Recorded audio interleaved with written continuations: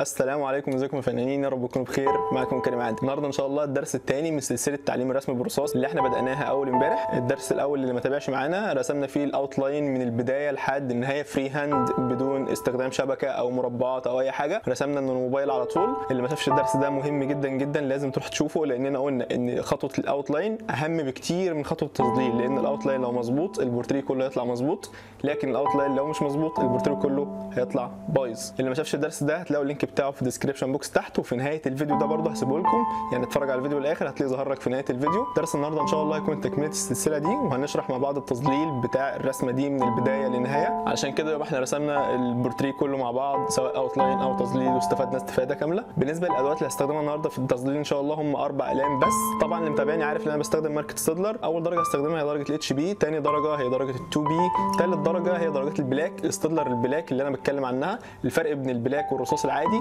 إن ده لونه أزرق أهو وده لونه أسود. وقلنا اللي لونه أسود ده بيكون دامج بين الرصاص وبين الفحم يعني بيديني درجة داكنه فأنا هستخدم منه درجة 2B ودرجة 8B بس اللي مش متوفر عنده ال black ده ومش عارف يوصل له ممكن يستخدم درجات الرصاص عادي جدا يعني يبدلها بدرجة ال 8B الرصاص العادية وال 2B الرصاص العادية. مفيش أي مشكلة عشان محدش يوقف على أي حاجة. يا ريت بقى تركزوا في الدرس للاخر محدش يقفل الفيديو واتفرجوا لآخر دقيقة لأن كل دقيقة بتعدي فيها معلومة جديدة يا فنانين. محدش يكسل ويقفل الفيديو أو يسرعه. وقبل ما نبدأ طبعا ما تنسوش الدعم الدعم باللايكات. لازم كل واحد قبل ما يتفرج ينزل يعمل like. يعني واقف الفيديو وينزل يعمل like وبعد كده يرجع يتفرج تاني عشان ما تنساش. وطبعا كومنتاتكم جميلة. يعني في نهاية الفيديو اكتبوا لي comment جميل كده عرفوني استفدتوا ولا لأ أو أي حد عنده سؤال يسألني مفيش أي مشكلة. أي درس حابين أنا أعمله اقترحوا عليا. واللي مشتركش في القناة لسه لازم يشترك ويفعل زر الجرس عشان توصلوا اشعارات كل يوم. عشان ما أطولش عليكم يلا بينا نخش في الشرح. في البداية فنانين كلنا نقول بسم الله الرحمن الرحيم. زي ما أنتم شايفين هبدأ بالعين أول حاجة ودايما لما بنيجي نظلل اي عضو أو أي عنصر في البورتريه بنبدأ بالدرجة الداكنة جدا يعني أغمق منطقة في العنصر ده. وزي ما إحنا ملاحظين أغمق منطقة في العين هي الدايرة اللي جوه العين. والدايرة اللي جوه العين دي عشان نظللها ونطلعها بنفس السواد ده فلازم نستخدم درجة داكنة جدا جدا. فأنا بستخدم دلوقتي درجة ال black ال 8B Staedtler black. درجة ممتازة وزي ما أنتم ملاحظين بتديني آه لون داكن. أقدر أوصل بيه لدرجة مشابهة أو مقاربة للدرجة اللي في الموبايل عندي. والموضوع يكون سهل إن شاء الله معانا. زي ما أنتم ملاحظين بالراحة ولازم سن القلم يكون مبري لأن إحنا زي ما شايفين كده حجم العين مش كبير فبالتالي لو القلم سنه مش مبري مش هعرف أعمل تفاصيل صغيرة والدنيا هتبوظ مني. فلازم آخد بالي ويكون سن القلم مبري عشان أقدر أطلع التفاصيل الرفيعة دي كويسة جدا ومظبوطة. وبالراحة خالص زي ما أنتم ملاحظين إيدي إيدي هادية جدا. دلوقتي أنا دخلت بالقلم ال 2B black اللي هو أفتح منه شوية لأن المنطقة اللي فوق العين لو تلاحظوا أفتح واللي جنب العين برضو اللي هي ناحية الشمال دي اللي أنا شغال فيها دلوقتي أفتح. فهمت وجهة نظري؟ طيب هو هل شرط أستخدم ال 2B black وال 8B black لا مش شرط. ممكن بنفس ال 8B black أخف إيدي وأعمل بيه الدرجة الفاتحة اللي بره. مفيش أي مشكلة. دلوقتي بدأت أشتغل في الخط اللي فوق زي ما أنتم ملاحظين. الخط ده بقى أكتر حاجة محتاجة تكون سن القلم مبري لأن سن القلم لو مش مبري في الخط الرفيع اللي زي كده هتبصوا تلاقوا الخط تخن مننا جامد جدا. ونبدأ بقى نخش في أستيكة ونمسح والكلام ده كله. وده أكتر حاجة طبعا زي ما إحنا عارفين بتبوظ مسام الورقة. إحنا مش عايزين نلجأ كتير لخطوة المسح دي أو التعديل كتير علشان الدنيا هتبوظ معانا خالص. أهو يعني أنا دلوقتي أهو لو لاحظتوا تخنت مني شوية فاستخدمت الاستيكه الزيرو بس بالعقل خالص وظبطتها. هبدأ أكمل بالراحه خالص. أكيد كلكم ملاحظين البطء أو السرعة البطيئة جدا اللي أنا شغال بيها. فمحدش يستعجل يا فنانين ويشتغل بسرعة علشان أقصى أو أخطر حاجة آسف أخطر حاجة ممكن تعملها وأنت بتظلل إنك تشتغل بسرعة. غلط. ومعظم الفنانين خلي بالكم منكم بيقعوا في في الغلطة دي. ألاقي مثلا خلصت الدرس النهارده ألاقي واحد بالليل أو بعدها بساعة بعت لي التطبيق يقول أنا خلصت. طب خلصت إمتى؟ أنت لحقت. لازم تدوا لنفسكم وقت. دلوقتي بدأت أخش في الجفن اللي فوق زي ما أنتم ملاحظين. هبدأ في بياض العين أديله لون. طبعا زي ما إحنا متفقين بياض العين ما بيتسابش أبيض لأ بياخد لون كده مثلا درجة 2 اتش ولا حاجة. بالراحة خالص. نسيت أقول لكم في بداية الفيديو إن أنا مستخدم 2H بس عشان ما استخدمتوش كتير يعني يعني مش أساسي معانا. فزي ما أنتم ملاحظين بال 2H بعمل التظليل اللي هو الفاتح خالص بقى يعني اللي هو ناحية الإضاءة. زي ما أنتم ملاحظين التكنيك اللي أنا شغال بيه في البشرة تكنيك دواير وخطوط يعني بستخدم تكنيكين تكنيك الدواير وتكنيك الخطوط. ممتازين جدا. اللي حابب يعرف أكتر عن تكنيكات التظليل اللي هيفيده كويس جدا دروس الطبيعة الصامتة اللي أنا عملتها. أنا عملت درسين طبيعة صامته اكتبوا في البحث تدريبات طبيعة صامته كريم عادل هيظهر لكم التدريبين اللي عملتهم. الطبيعة الصامته دي عبارة عن أشكال هندسية بتظللها وبتفيدك كويس جدا في موضوع التظليل وبتعرفك التكنيكات كلها. زي ما أنتم ملاحظين عمال أشتغل في دوائر أهو في الخط الغامق اللي هو في بداية الأنف اللي بيربط الحاجب مع العين. بالراحه خالص دوائر وخطوط. أكيد أنتوا واخدين بالكم من البطء اللي أنا شغال بيه. دلوقتي زي ما أنتم ملاحظين ببدأ أخش في الحاجب أهو في التظليل اللي هو تحت الحاجب ده. بعمله بالراحة بال HB كده دي درجة HB اللي أنا شغال بيها دلوقتي. درجة وسط يعني مش تقيلة قوي ولا خفيفة قوي بالراحة خالص بعمل طبعا الدرجة دي هي درجة الجلد اللي تحت الحاجب. بعملها الأول وبدرجها كويس جدا.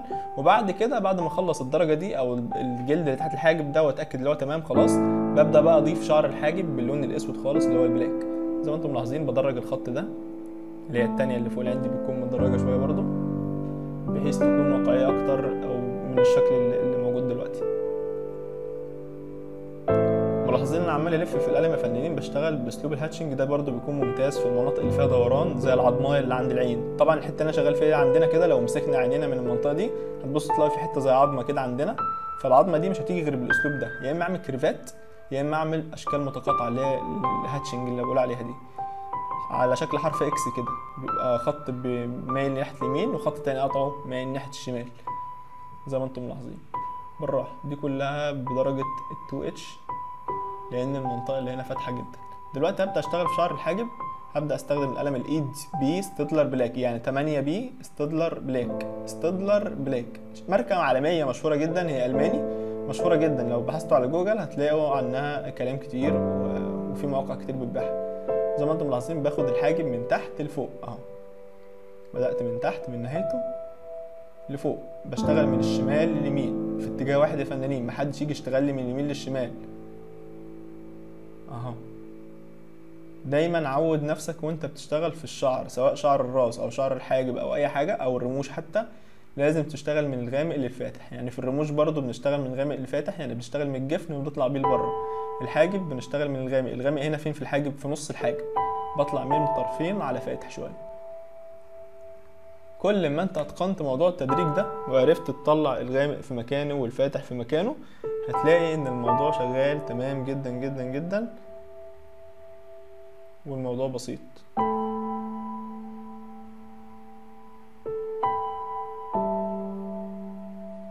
خالص مكمل اهو. هنا ما يعني ما بدوسش جامد. الأفضل إن أنا ما بدوسش جامد بس أنا بفضل أحط في طبقات في بعضها طبقة فوق التانية فوق التالتة لحد ما نوصل للدرجة المطلوبة اللي هتخليني خلاص حسيت إن أنا وصلت للمطلوب عندي أو لما أقارن بالموبايل خلاص بحس إن أنا بقيت شبهه. فما بشتغلش من دماغي. أنا دايما اعمل لكم الزوم على الموبايل أهو حطه جنبي بحيث تقارنوا معايا أول بأول. الموضوع سهل يا فنانين محدش آه محدش يعطل نفسه أو حد يحسس نفسه إن في حاجة معقدة أو حاجة صعبة. اللي بيشتغلوا مش أحسن منك واللي بيعرفوا يرسموا مش أحسن منك. أنت تقدر تتعلم وتقدر ترسم وتكون أحسن منهم كمان لو أنت حاطط لنفسك هدف. تمام؟ دلوقتي يا فنانين هنبدا نكمل تظليلات مثلا تحت العين في المنطقة دي. أنا شايف إن إحنا ممكن نستخدم HB في المنطقة اللي تحت دي لأنها مش داكنه قوي بالراحه خالص. لاحظوا التكنيك اللي أنا هشتغل بيه تكنيك بسيط جدا. هدخل سنة black. في المنطقة الغامقة شايفين المنطقة السوداء أو الغامقة اللي تحت الدورية دي؟ أيوه المنطقة دي بالظبط. لازم أستخدم فيها black عشان تديني اللون المحروق اللي موجود عندي في الصورة زي ما أنتم شايفين كده. فالموضوع سهل جدا. عمال أشتغل دوائر. الأفضل هنا إن أنا أشتغل دوائر زي ما أنتم ملاحظين كده. أفضل أشتغل دوائر وأعمل طبقات كتير فوق بعضها لغاية ما أوصل للدرجة. المناسبه دلوقتي فنان إحنا خلصنا العين الشمال وهنبدأ نكرر نفس الخطوات في العين اليمين فأنا المفروض إن أنا هسرع بقى الخطوة دي عشان ما نخسرش وقت كتير ونخش في الانف فطبقوا نفس الخطوات ويلا بينا. دلوقتي يا فنانين خلصت العين التانية زي ما أنتم ملاحظين كده بنفس الخطوات اللي اشتغلتها في العين الأولى عشان بس ما حدش يقول لي انت سرعت هي نفس الخطوات هنطبقها. اشتغلت في الدايرة وبعد كده في الجفن اللي فوق وبعد كده في التانية اللي فوقيه وفي الحاجب وهكذا. تمام؟ دلوقتي هنبدأ نشتغل في الأنف. أول حاجة ببدأ فيها بيها في الأنف زي ما إحنا متعودين المنطقة السوداء. فين أسود منطقة already هي الفتحتين بتوع الأنف. زي ما أنتم ملاحظين إحنا عاملين ال outline فببدأ كل اللي بعمله إن أنا أسود الفتحتين دول قوي قوي قوي لأن طبعا الضوء مش واصل لهم خالص. فلازم يكون اللون فيهم أسود داكن جدا جدا جدا. تمام يا فنانين؟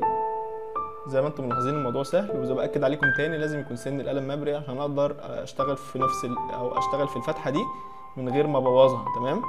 لأن طبعا سن القلم لو مش مبري هبص ألاقي القلم طالع مني برة وبوظ الدنيا خالص. فبشتغل براحتي ومحدش بيجري ورايا. واخد كل وقتي براحتي خالص. دلوقتي زي ما أنتم شايفين مسكت القلم الرصاص ال HB وأبدأ اظلل التظليل في الأنف. أفضل تكنيك ممكن نشتغل بيه في الأنف هو الدواير زي ما أنتم ملاحظين كده. شايفين ايدي شغالة إزاي؟ شغال بعمل دواير. لو تلاحظوا في حتة زي, رقم سبعة كده بين الفتحتين. الحتة اللي أنا شغال فيها دي. بعملها بسن القلم بالراحة كده دواير وأفضل أضيف درجات في بعضها لغاية ما أوصل للدرجة أو ال tone المطلوب مني تمام؟ فالموضوع بسيط جدا لكن ناخد راحتنا خالص محدش يستعجل. ببدأ أشتغل في الحتة اللي أنت قدامكم دي اللي هي بين العين وبين الأنف. طبعا تظليل عادي والتكنيك باين قدامكم خالص. خلي بالكم نفس اللي إحنا بنطبقه في الجنب الشمال ده هو هو اللي هيتطبق في الجنب اليمين فاهمين؟ فأنا مش شرط إن أنا أشرح لكم الجنبين يعني جنب الأنف اليمين هيكون نفس الجنب الأنف الشمال عشان بس نختصر في الوقت على قد ما نقدر لأن إحنا دخلنا في 10 دقايق والفيديو هيطول. زي ما أنتم ملاحظين يا فنانين بكمل بنفس التكنيك أهو. التظليل اللي هو في بداية الأنف من الناحية الشمال بالراحة خالص. في المنطقة الفاتحة خالص دي بستخدم قلم بقى درجة خفيفة. هنا في المنطقة دي ممكن قلم HB لأنها متوسط الغمقان يعني مش مش فاتحة قوي ولا غامقة قوي فممكن أستخدم HB زي ما أنتم ملاحظين والأفضل زي ما قلت لكم استخدم تكنيك الدوائر في المنطقة دي خصوصا لأن الأنف شكلها دائري فعشان تتجسم مظبوط لازم أستخدم فيها تكنيك قريب لشكلها يعني. الدوائر أنسب حاجة ليه زي ما أنتم ملاحظين يا فنانين بالراحه خالص. دلوقتي هعمل المنطقة الغامقة اللي هي منطقة الظل اللي تحت دي هستخدم فيها القلم ال black. طبعا منطقة الظل دي بتكون بادئة تقيل قوي ومنتهية على إيه؟ على فاتح. بالظبط كده. لازم الظل ينتهي على فاتح لأن في فنانين كتير بيغلطوا بيخلوا الظل ينتهي على تقيل برضه. ده غلط جدا. أنت لو حطيت كوباية وعرضت لها كشاف فلاش يعني بتاع موبايل أو حاجة هتبص تلاقي الظل بتاع الكوباية دي بادئ من تقيل قوي من جنب الكوباية بعد كده بينتهي على أخف أخف أخف لغاية ما يتلاشى خالص ودي طبيعة الظل. بالراحة خالص ببدأ أضيف تظليلات. ملاحظين كل ما بقى يعني كل ما بغمق في الأنف أكتر كل ما بتظهر ال outline أو بيظهر ملامحها أكتر وبتبان واقعية. وهنفضل ماشيين بالتكنيك ده لحد ما نخلص نفس الطبقات كلها اللي قدامنا في الموبايل. الخطوة اللي بعد كده إن أنا هبدأ أكرر نفس الخطوات اللي أنا عملتها في الجزء ده اللي في الجزء الشمال. في الجزء اليمين هبدأ أول حاجة أشتغل في الفتحة الأسود. وبعد كده اظلل الجزء اللي بين العين وبين الأنف. وبعد كده اجسم المنطقة اللي حوالين الفتحة دي بالقلم الرصاص. وبعد كده أعمل ظل الأنف اللي هو اللي تحت ده زي اللي عملته الناحية التانية بالقلم ال black. وبكده نكون خلصنا الأنف برضو فتعالوا بقى نسرع شوية ونشوف الخطوة اللي بعد كده. دلوقتي يا فنانين هننزل للفم ودايما كالعادة بنبدأ بأغمق منطقة في العنصر اللي إحنا شغالين فيه. وزي ما إحنا ملاحظين طبعا الأغمق منطقة في الفم عندي هي المنطقة اللي بين الشفتين. لونها أسود black أسود داكن. فهستخدم بيها نفس القلم اللي استخدمته في العين واللي استخدمته في الأنف. وهو قلم ال eight B Staedtler black زي ما أنتم ملاحظين بيديني درجة ممتازة جدا درجة سوداء جدا قريبة من الفحم. فعشان كده إحنا بنستخدم القلم ده. وزي ما قلت لكم اللي مش متوفر عنده القلم ده ممكن يستخدم درجة رصاص تقيلة وممكن كمان يستخدم قلم ألوان خشب أسود. يعني لون خشب أسود هيكون برده درجته مناسبة وهتكون قريبة جدا من درجة ال eight B Staedtler black ففي أكتر من خيار ممكن نستخدمه. زي ما أنتم ملاحظين في الخطوة دي هبدأ دلوقتي أحدد الشفايف مظبوط الأول قبل ما أبدأ اظلل الشفتين. دلوقتي يا فنانين هنبدأ نشتغل بقى في الشفة اللي فوق. الشفة اللي فوق بادئة من غامق ومنتهية على فاتح. فممكن أشتغل بيها بال two B black مش ال eight B black بقى. ال two B black أفتح زي ما إحنا متفقين. ببدأ أشتغل من غامق كده أهو تدريجي تدريجي تدريجي وبطلع بيها على فاتح. خدوا بالكم ما ينفعش الشفة تكون غامقة من تحت وغامقة من فوق برضو ناس كتير بتغلط الغلطة دي وبتخلي الشفة كلها لون واحد سودا غلط. الشفة زي ما أنتم ملاحظين قدامكم من النص سودا قوي ومن فوق فاتحة شوية علشان تبان إن فعلا الضوء واصل لفوق ومش واصل لتحت لأن الشفة اللي فوق أعلى أو عالية يعني فهي متعرضة للضوء أكتر. زي ما أنتم ملاحظين ممكن أشتغل كيرفات بالطول يعني بشكل طولي أو ممكن بشكل عرضي. كل التكنيكات يعني مظبوطة أو صحيحة ما دام هتأدي نفس الغرض أو نفس النتيجة يعني. زي ما أنتم ملاحظين شغال طولي دلوقتي أهو وشوية هشتغل عرضي مفيش أي مشكلة. أنا سرعت الفيديو شوية بس عشان نكسب وقت أكتر. ما دام فهمنا التكنيك يبقى هنقدر نشتغل عادي جدا. زي ما أنتم ملاحظين اهو كل اللي بعمله أنا بضيف درجات طبقه فوق التانية فوق التالتة لغاية ما خلاص بحس إن الشفة بقت شبه الشفة اللي في الموبايل أو الدرجة بقت نفس الدرجة. خلاص بحاول بقى أو ببدأ أخش في في الشفة التانية الشفة اللي تحت. وبكده نكون خلصنا الشفة اللي فوق. إلى حد ما بقت كويسة وتمام يعني. تعالوا بقى نشوف الشفة اللي تحت هنشتغل فيها إزاي. دلوقتي فنانين نبدأ نشتغل في الشفه اللي تحت وزي ما إحنا ملاحظين لونها أفتح من اللي فوق بكتير جدا. فكل اللي هستخدمه فيها هي درجة واحدة ممكن 2 اتش تقريبا.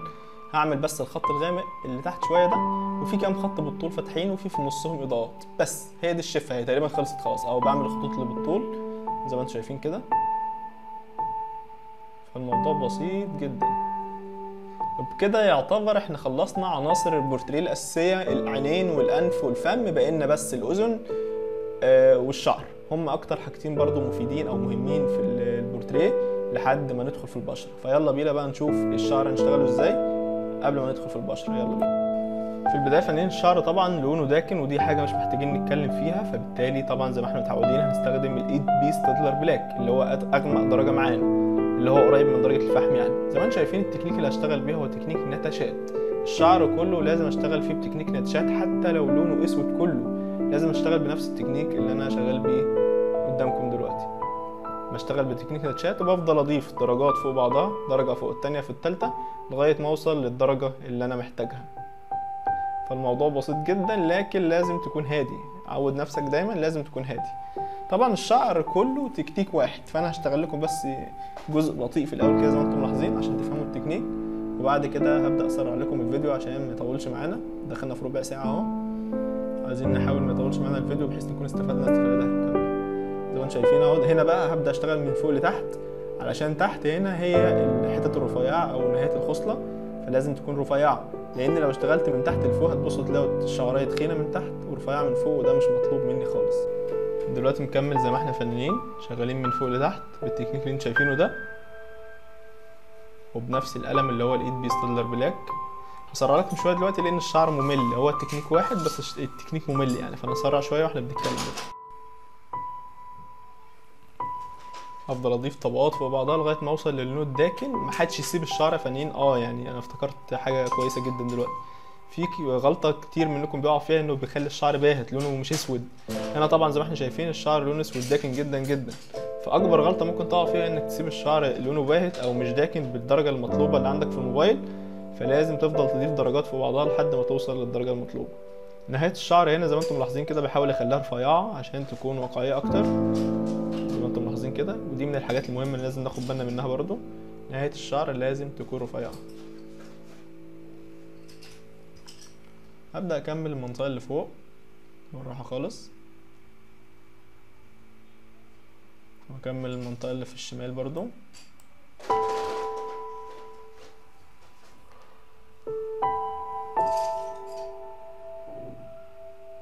تعال نشوف جزء تاني مختلف عن الجزء ده عشان نكون شرحنا الشعر كله. في الجزء ده فنانين فيه مختلف شوية عن الجزء اللي إحنا اشتغلناه. هنا الجزء ده فيه كيرفات شوية أو الخط فيه لافف شوية زي ما أنتم ملاحظين كده. بالراحة خالص. لأن هنا هو منبت الشعر وهنا شعره جاي على جنب لو تلاحظوا. فبالتالي هيطلع لفوق وبعد كده هيخش ناحية الشمال زي ما أنتم ملاحظين في الموبايل كده. الموضوع بسيط جدا. لاحظوا حركة إيدي إزاي؟ ولاحظوا أنا ببدأ منين وبنتهي فين؟ يعني بدأت من تحت لفوق لأن الغامق عندي تحت والفاتح عندي فوق. أتمنى تكونوا فاهمين فاهمين التكنيك كويس لأن التكنيك سهل مش محتاج حد يكون مستصعبه وأي حد فيكم يقدر يرسمه إن شاء الله بكل سهولة. المنطقة دي سودة زي ما أنتم ملاحظين كده. ودي سهلة برضو لأنها مستقيمة المنطقة اللي أنا شغال فيها حاليا دي, دي منطقة مستقيمة يعني لفة من تحت شوية بس مستقيمة من فوق. كده خلصنا الجزء ده. تعال نشوف الجزء الأخير اللي فاضل. في الجزء اللي فاضل ده فنانين برضه هنشتغل بنفس تكنيك الجزء الأول اللي هو على ناحية الشمال لأن هنا مستقيم بس. وهيبدأ يلف معايا في الجزء اللي ناحية اللي فوق ناحية اليمين ده. يعني هنلاقي برضو من فوق كده داخل معانا ناحية الشمال لأن برضو ده منبت الشعر. فالتكنيك ده برضو هنا بسيط يعني نشتغل من اليمين للشمال. أهو زي ما أنتم ملاحظين كده. التكنيك بسيط جدا وأي حد فيكم إن شاء الله يقدر يعمله. بكده نكون خلصنا الشعر مع بعض. عشان ما نطولش فيه أكتر من كده. تعالوا نشوف هنرسم الأذن إزاي عشان ندخل في البشرة لأن البشرة هي المهمة جدا بقى. يلا بينا. زي ما أنتم ملاحظين يا فنانين دلوقتي هندخل في الف... في الأذن. زي ما أنتم ملاحظين المنطقة اللي فوق اللي تحت الشعر على طول دي لونها أسود داكن. فهستخدم فيها قلم eight B black بس هخف إيدي شوية. أي منطقة سوداء الأول بعملها أهو يعني عملت اسود وبطلع بيها على فاتح. لازم أعمل المناطق السوداء في الأول عشان تظهر لي باقي التظليلات أو باقي التدريجات بشكل مناسب. دايما زي ما إحنا متفقين من أول البورتريه لازم نبدأ بالمنطقة السوداء. أسود منطقة في الأذن هي الفتحه دي والجزء اللي نازل من الشعر على طول. زي ما أنتم ملاحظين التكنيك بسيط جدا مش صعب خالص. الفتحه اللي هنا برضو غامقة شوية بظبط ال curve اللي بره ده اللي هي الكسرة اللي بره دي. حسيت ان هي مش متظبطة. التكنيك بسيط خالص. الأذن أنا كنت عملت عنها درس لوحدها برضو يعني درس منفرد اللي حابب يركز فيها أكتر يكتب في البحث رسم الأذن كريم عادل. أي درس أنتوا عايزينه أي درس أنتوا يعني حاسين إن أنتوا ضعاف فيه اكتبوا في البحث. يعني مثلا أنت بتبحث عن درس العين اكتب تعليم رسم العين وجنبها اسمي كريم عادل عشان يظهر لك الدرس بتاعي أنا. فاهمين لأنك لو كتبت درس تعليم الرسم العين بس هيظهر لك أصلا 1000 درس أو 2000 درس على اليوتيوب أو أكتر كمان سواء عربي أو إنجليزي. فأنت لو بتدور على الدرس بتاعي أنا اكتب جنب الدرس ده كريم عادل هيظهر لك الدرس بتاعي. زي ما أنتم ملاحظين غمات الحتة اللي تحت شوية. وهبدأ بقى أدرج من غامق الفاتح. دي طبعا قلم اتش بي لأن المنطقة هنا مش سودة قوي ولا فاتحة قوي موضوع الدرجات ده هكلمكم فيه إن شاء الله عشان تكونوا فاهمينه برضه أكتر.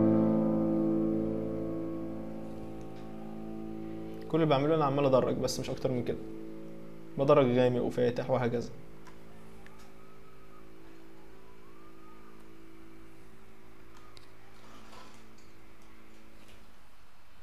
دي آخر منطقة تقريبا هتتدرج.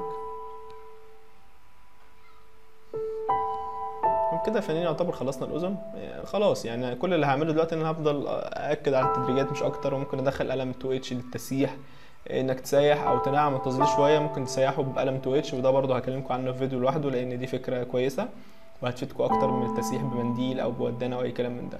كده خلصنا الأذن تعالوا بقى نخش في البشرة وده المهم بالنسبة لنا كلنا. يلا بينا.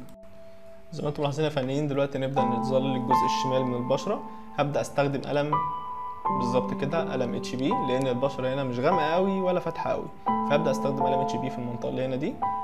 طبعا هو بادئ من غامق من ناحية الشمال ناحية الأذن كده وبتخش جوه على فاتح فبالتالي هستخدم ممكن أستخدم في الطرف خالص 2 B قلم 2 B رصاص عادي. وبعد كده أستخدم في النص قلم HB. وبعد كده في الناحية الفاتحة خالص دي أستخدم قلم 2 H. بأكد بس على الخط بتاع الشعر لقيت في حتة مش مظبوطة فظبطتها. زي ما أنتم ملاحظين ماشي مع بعض خطوة خطوة أهو. غمق المنطقة دي المنطقة دي غامقة شوية. ده قلم 2 B اللي أنا بكلمكم عنه. بس طبعا بتحكم بقى في إيدي يعني سواء عايزها فاتحة ولا غامقة فاهمين وجهة نظري؟ فمش م... مش بمعنى إنك استخدمت قلم 2 B يبقى لازم التظليل يطلع داكن بيه لأ أنت ممكن بإيدك تتحكم وتطلع درجة الاتش بي بال2 بي. أتمنى تكونوا فاهمين وجهة نظري. وديكوا شايفين التكنيك اللي أنا شغال بيه؟ تكنيك خطوط يعني فوق بعضها. واحد فوق التاني فوق التالت. لحد ما أوصل بتدريج ناعم وسلس كده ويديني ال tone أو الدرجة اللي أنا عايزها. الحاجة المرتبطة الوحيدة في التظليل سواء بقى عين أو شعر أو أذن أو بشرة أي حاجة إنك لازم تكون هادي. نكمل بنفس التكنيك زي ما أنتم شايفين يا فنانين بنفس القلم اللي هو ال HB في المنطقة اللي هي اللي بره بقى وأنا طالع كده. أهو هنا ببدأ أطلع على فاتح خالص وأخف إيدي وأنا طالع. شايفين؟ يعني بخف إيدي جدا وأنا طالع. لازم أخف إيدي خالص وأنا طالع يا فنانين بحيث ما ألاقيش إن التظليل طالع برضو معايا في المنطقة اللي فيها اضاءه غامق. أبص ألاقي نفسي بستخدم استيكه وبضطر أعدل وأمسح وأبص ألاقي البورتريه كله باظ ودي مشكلة كبيرة جدا طبعا والتعديل فيها بيكون صعب. هنا المنطقة بتكون أغمق شوية في منطقة الدقن هنا فهبدأ أستخدم القلم ال2 بي الرصاص العادي زي ما أنتم ملاحظين وهبدأ أنزل بيه على فاتح شوية.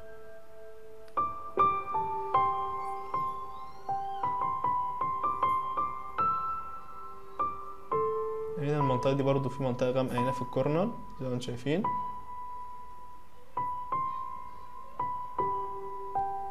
هغمقها بال two B بالراحة خالص.